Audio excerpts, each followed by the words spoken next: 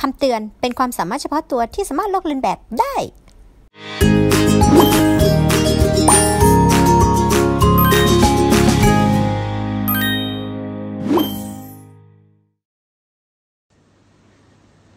สวัสดีค่ะ สวัสดีแม่เอาเบาบุอนกรุ๊ปกรุ๊ปคะแนนสวัสดีพ่อแม่พี่น้องทุกคนค่ะ วันนี้ดาวจะพาทุกคนมาทำขนมปังโฮลวีตบักเก็ตนะคะ ไปค่ะ ไปทำกัน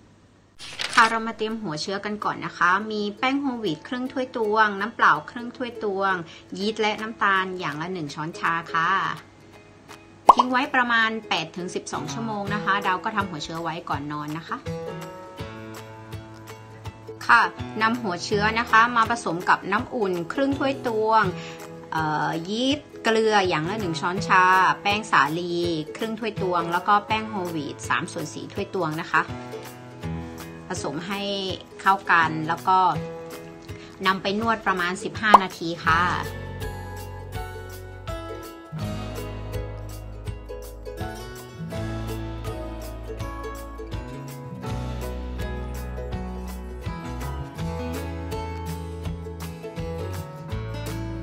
ค่ะพอนวดเสร็จนะคะเราก็จะพักแป้งไว้ประมาณ 2 ชั่วโมงครึ่งนะคะ เพื่อให้ขึ้นเป็น 2 เท่า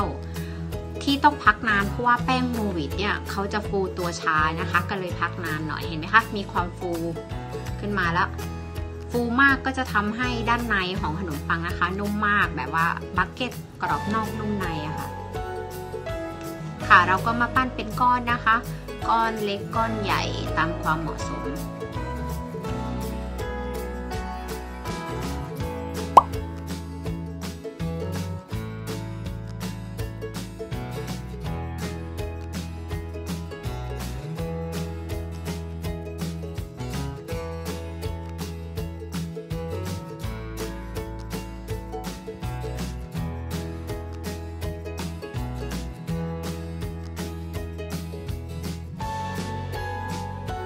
ค่ะหลังจากพักแป้งเสร็จแล้วนะคะ เราก็กดกดไล่ลมอากาศนะคะ แล้วก็คลึงไล่ลมอากาศนิดนึง แล้วก็คลึงให้มันยาวขึ้นนะคะ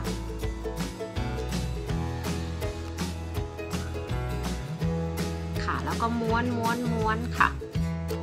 เก็บไปนิดนึงนำไปใส่ถาดที่รองด้วยกระดาษไขนะคะ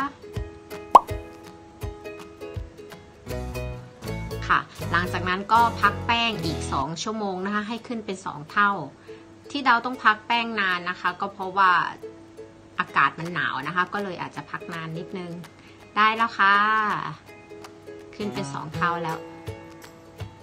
กรีดค่ะใช้มีดกรีดค่ะ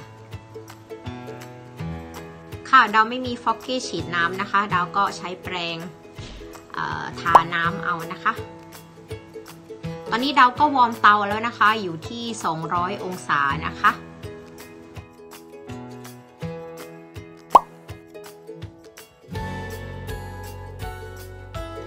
ข้าวอบแบบรองน้ำนะคะ เปิดไฟบนล่างที่ 200 องศาค่ะ อบประมาณ 15-20 นาทีค่ะ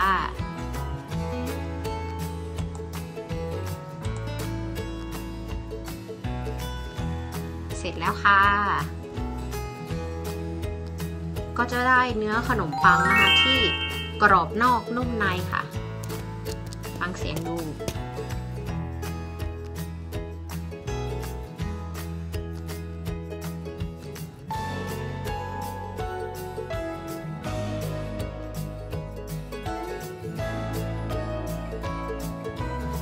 ค่ะอีกวิธีหนึ่งนะคะ ก็นำส่วนผสมทุกอย่างนะคะ ใส่ไปในเครื่องอบขนมปังนี้นะคะ ดาวใช้ปุ่มโฮวีดนะคะ 3 ชั่วโมง 40 นาทีค่ะ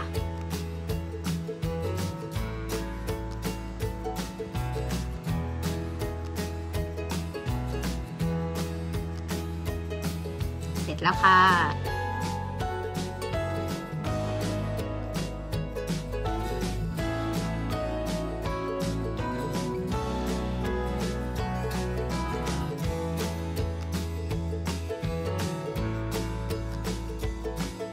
ค่ะก็จบไปแล้วนะคะกับขนมปังโฮลวีตมาร์เก็ตขอบคุณที่รับชมค่ะ พบกันใหม่คลิปหน้า อย่าลืมกด subscribe กดไลค์กดแชร์เพื่อเป็นกำลังใจให้ดาวด้วยนะคะ บาย